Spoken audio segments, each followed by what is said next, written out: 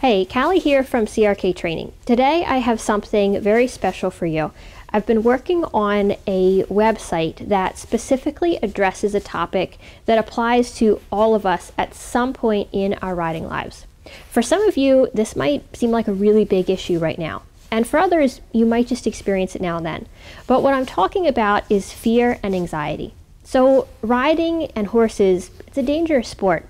And some of the things that we do with our horses, there's a lot of adrenaline for us.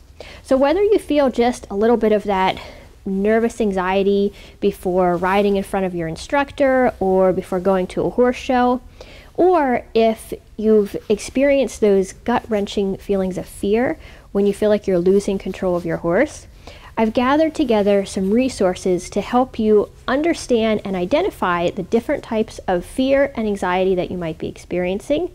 I also give you my three best strategies for helping manage your emotions in those moments where you start to feel worried or anxious or you feel that fear.